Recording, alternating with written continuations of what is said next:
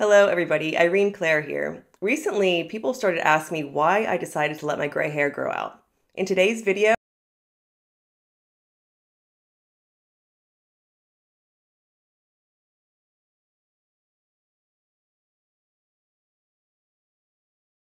dyeing my hair here and there for fun while I was in high school.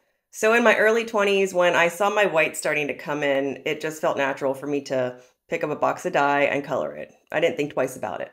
Now, in this present moment, I'm 43 and I am two months into my transition.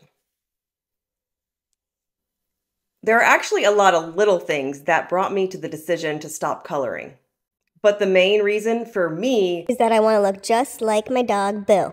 I'm kidding, I think.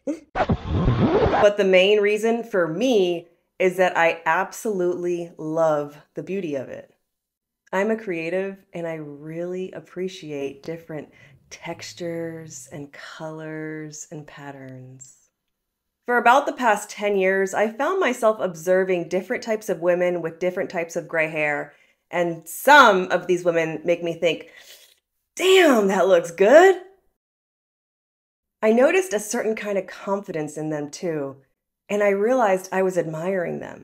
Their completely unique looks, color patterns, and their boldness. Deciding to go gray is not for everyone, and not everyone supports the idea of going gray, which made me love their I do what I want type of attitude. I've been thinking about growing out my gray for several years, but I wasn't completely ready until recently.